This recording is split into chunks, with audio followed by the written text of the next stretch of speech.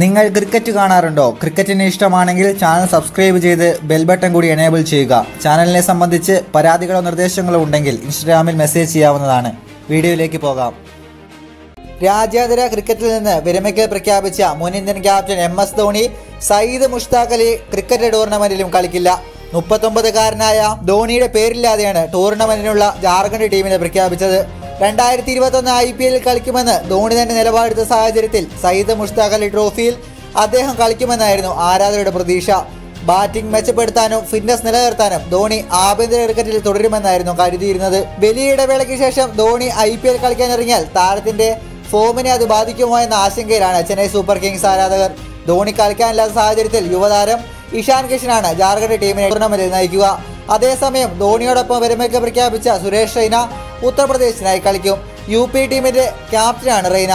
ജനുവരി പത്ത് മുതൽ മുപ്പത്തൊന്ന് വരെയാണ് ആഭ്യന്തര ടി ട്വന്റി ലീഗുകളുടെ കാലാവധി. ഈ വർഷം ഓഗസ്റ്റ് പതിനഞ്ചിനാണ് ധോണി രാജ്യാന്തര ക്രിക്കറ്റിൽ നിന്ന് വിരമിക്കുന്നതായി പ്രഖ്യാപിച്ചത്. മാസങ്ങൾ നീണ്ട അഭ്യൂഹങ്ങൾക്കൊടുവിലായിരുന്നു ധോണിയുടെ പ്രഖ്യാപനം. രണ്ടായിരത്തി നാല് മുതൽ രണ്ടായിരത്തി പത്തൊൻപത് വരെ ഇന്ത്യൻ ക്രിക്കറ്റ് ടീമിന്റെ ഭാഗമായിരുന്ന ധോണി പതിനേഴായിരത്തിന് മുകളിൽ രാജ്യാന്തര റൺസ് നേടിയിട്ടുണ്ട്. യു എയിൽ നടന്ന ഐ പി എല്ലിൽ ചെന്നൈ സൂപ്പർ കിങ്സിനെ നയിച്ച് ക്രിക്കറ്റിലേക്ക് മടങ്ങിയെത്തിയെങ്കിലും ധോണിയും ചെന്നൈ ടീമും മോശം പ്രകടനമാണ് നടത്തിയത്. രണ്ടായിരത്തി ഇരുപത്തൊന്ന് മാർച്ച് ഏപ്രിൽ മാസങ്ങളിൽ നടക്കാനിരിക്കുന്ന അടുത്ത ഐ പി എൽ സീസണിലും ധോണി ചെന്നൈക്ക് വേണ്ടി കളിക്കാൻ ഇറങ്ങും. Jharkhand team Ishan Kishan captain Pankaj Kumar Kumar Deobrat Saurabh Tiwary Utkarsh Singh Anand Singh Virat Singh vice captain Vikas Vishal Anukul Roy Sonukumar Singh Varun Aaron Rahul Shukla Monukumar Singh Vivekanand Tiwari Balakrishna Ashish Kumar Satyasetu Syed Mushtaq Ali ട്രോഫിക്ക് വേണ്ടിയുള്ള സായുധ ടീമിനെ പല സംസ്ഥാനങ്ങളും പ്രഖ്യാപിച്ചിട്ടുണ്ട്. ഡൽഹി നാൽപ്പത്തിരണ്ട് അംഗ സായുധ ടീമിനെ പ്രഖ്യാപിച്ചു. ഇന്ത്യയുടെ സ്റ്റാർ ഓപ്പണർ ശിഖർ ധവാനാണ് ടീമിന്റെ നായകൻ. ശിഖർ ധവാന് പുറമെ സൂപ്പർ താരങ്ങളായ ഇഷാന്ത് ശർമ്മ നിതീഷ് റാന അനുജ് ധ്രുവ് ഷോറെ പവൻ നേഗി ഉന്മോക് ചാന്ദ് തുടങ്ങിയവരും നാൽപ്പത്തിരണ്ട് അംഗ സായുധ ടീമിലുണ്ട്.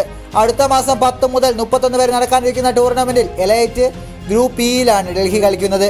മുംബൈ ആന്ധ്ര കേരള ഹരിയാന പുതുച്ചേരി എന്നീ ടീമുകൾക്കെതിരെയാണ് ടൂർണമെന്റിൽ ഡൽഹിയുടെ മത്സരങ്ങൾ. സൗരാഷ്ട്ര ടീമിനെ സ്റ്റാർ പേസർ ജയദേവ് ഉനത്കർ നയിക്കും. ടൂർണമെന്റിന്റെ ഇരുപതംഗ ടീമിനെയാണ് സൗരാഷ്ട്ര പ്രഖ്യാപിച്ചത്. ടീമിലെ സ്ഥിര സാന്നിധ്യങ്ങളായ പ്രേരക് മങ്കാത് ചിരാഗ് ജാനി അർബിദ് വസവഡ ഹർവിക് ദേശായ് എന്നിവരെല്ലാം ടീമിലുണ്ട്.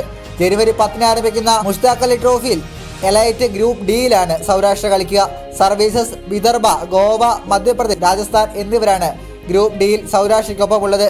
ഇൻഡോറിലാണ് ഈ ഗ്രൂപ്പിലെ മത്സരങ്ങൾ നടക്കുക. അതേസമയം ഹൈദരാബാദിൽ നിന്ന് ഇക്കുറി ആന്ധ്രയിലേക്ക് ചേക്കേറിയ സൂപ്പർ താരം അമ്പാട്ട് റായിഡുവിനെ ടൂർണമെന്റിൽ തങ്ങളുടെ ടീമിന് നായകനാക്കി Andhra cricket association K S Bharat Ricky Bhui എന്നീ താരങ്ങളും ആന്ധ്ര ടീമിൽ ഇടം പിടിച്ചിട്ടുണ്ട്.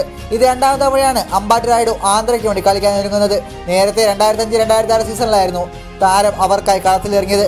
പര്യസമനായ അമ്പാടിനായിട്ട് എത്തുന്നതോടെ ഇത്തവണ മുഷ്താഖ് അലി ട്രോഫിയിൽ ആന്ധ്ര കൂടുതൽ ശക്തരായി മാറുമെന്നാണ് കരുതപ്പെടുന്നത്. ഇന്ത്യക്കായി അൻപത്തിയഞ്ച് ഏകദിനങ്ങളും ആറ് ടി ട്വന്റി മത്സരങ്ങളും കളിച്ച റായിഡു കഴിഞ്ഞ വർഷം ലോകകപ്പിനുള്ള ഇന്ത്യൻ ടീമിൽ നിന്ന് തഴയപ്പെട്ടതിന് പിന്നാലെ ക്രിക്കറ്റിൽ നിന്ന് വിരമിച്ചിരുന്നു.